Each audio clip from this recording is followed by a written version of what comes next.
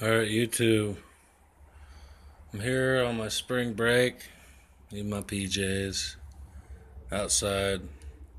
Relaxing. What's up, everybody? And, uh, just gonna work on, on my knife. You know, this is my workstation outside of my apartment. It's awesome. My barbecuer. I fasten everything here like you see here. I don't have a vise or nothing. And I was able to get a work sharp tool sharpener. And you know, it does a lot more than just that. So I'm using it to make a knife. Actually, I'm gonna make use it to make two knives out of a an old sawmill blade. I cut two knives out of it. The other one's got uh, the saws on the back of it. It's kind of cool looking. But when I'm done with it, it's going to look good. I'm just starting to take some of that, you know, all that rust and crap off. But the tool sharp's working excellent for that. It truly is an awesome tool. I love it. There it is right there. Boom. And there's my spring break beverage. Yep, I'm enjoying it. I covered it up with a rubber glove so all you guys can see is that. But anyways, it's pretty good beer. It's the only kind I like to drink anyways. And uh, here's my safety glasses. Got my breather. Gotta have all the safety gear, you know what I'm saying? Can't work safe, you know, that's that's no good. There we go. Sorry about the focus. This is my wife's phone. It's got this autofocus and whatnot. Right now I'm working on the handle. Round it around. Putting my grooves in right here. It's feeling nice. Matter of fact, really nice. I'm gonna put one more down here. Probably about right in here from here up. I'm going to do that. And uh, sorry about that sound in the background. I do live in a town that has trains and whatnot. But the work sharp has smoothed all of this out from cutting with the grinder. You know, cutting my shape out I want. This point right here is your hitting point for um, batoning through wood. And um, I'm not sure yet, but I, I, might put a beer opener on this bad boy right here. So I can get it going. But this thing's comfortable, fits good in the hand. It's going to look good with an oak handle on it. Um, I'm curious to see how the steel is going to do. So I'm not sure. I'm not sure what kind of steel it is. Actually, I just know it's a badass uh, mill saw blade. So, you know, I, I, mean, guys like, you want it, and I was like, hell yeah, I'll take that. Because why not experiment with something else besides 5160 spring steel? Even though I love it and I'm a big fan of it, this was given to me and that's pretty much the only way I can get my metal. But eventually I plan on doing some type of forging and hammering out my own my own designs. It's gonna be cool. So the thickness I'm not too sure on that. To be honest, if anybody's got any ideas throw it down in the comments or down the bottom. It's decent though. We'll see how it works as a survival blade. I'll have a convex edge on it. It'll be honed down kind of nice. Super chromed out. Lanyard hole, maybe. I don't know, because I'm going to have my probably a beer opener right here. You know, I don't have that. Little hook right there. Maybe. I just might drill a hole for a lanyard and that's it.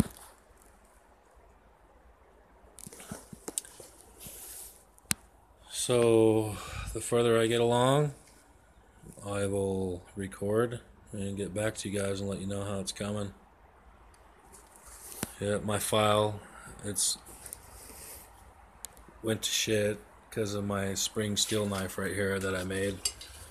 It's still too beefy, so I gotta taking some meat off of it. I mean, don't get me wrong, the edge is great from the work sharp. I mean, look at that shit. I've been chopping wood and whatnot, but that's cool. You know, you can see this is the side my file went out on me. You see. I'm getting it though. Once I get more meat off it, and it's just so hard to work on it because I didn't detemper it. I've been working on it all cold. And, uh, so that way it, it has its, I don't have no way of tempering right now. So, you know, I've got to keep that temper that's in there. So everything was very slow and tedious, but it's turning out pretty good. Got my thumb slots here. You know, good grip for your thumb. It's actually perfect. This thing just molds in your hand. It's insane. I can't wait until it's done. I made the handle out of string and Gorilla Glue. Layer, layer, Gorilla, layer, Gorilla, layer, Gorilla, layer, Gorilla Glue. And I'd rub that shit in with rubber gloves on. Don't do it without gloves. I did that the first time and it sucked. My hands heck is split up. But every time the Gorilla Glue puffs up, grab it with your gloves and then squish it back down like this. And then rub it in. And then, you know, a couple hours later, it's going to still be a little puffy. But you want to keep rubbing the glue in probably about five or six times. You got to do it. Rub it back in because it puffs up. But then after that, sand it down as needed. And you have yourself a permanent handle that takes some damn good shock. I've thrown this knife and, you know, I've abused it. But look at that. It doesn't look like string, does it?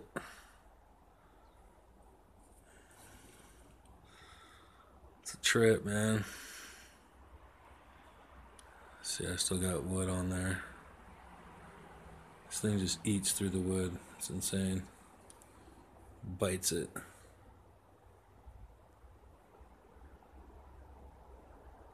But the handle's pretty sick. I really like it. I'm going to put this kind of handle on a lot of my knives that I make. Put my blood groove in there. Super nice. Needs more polishing and smoothing out so there's no catch when I baton through wood. This baby's a batoner. Look how thick that is. Come on. It's 5160 spring steel, man. Not bad by all eye and just hand tools. Look at that tip. You ain't breaking that shit. I've dropped it straight in the concrete and nothing. Just bounces off. But man, that file really ate it up. I had turned it on its side because uh, it still had a little meat on there, but it still couldn't barely scratch the knife, so. I'm waiting for a piece for my Dremel, and then I'll probably use that to bring this down. Actually, I'd rather use a file because then I get my flat surface I want. But this is the Chubby. That's what I named it. And this is a knife that'll last somebody uh, the rest of their life. Guaranteed. Guaranteed, man. This thing ain't going nowhere unless you sell it. It's beefy. It's about a pound. Pound of steel in your hand.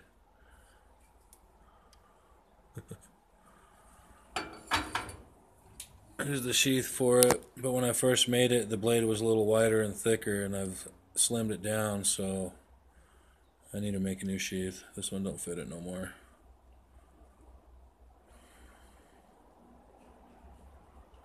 But it's my own design for it. Badass, patented by me. Boone Tryon. Solid too. I might just see what I can do. Maybe put another rivet in up here. Something. Or stitch it. That's what I'll do. No, my knives will cut that. Stitching ain't gonna work. I gotta make a new one.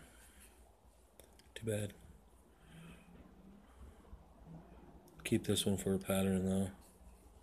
If somebody else likes it? This style of sheath, I'll sheath. I'll use it.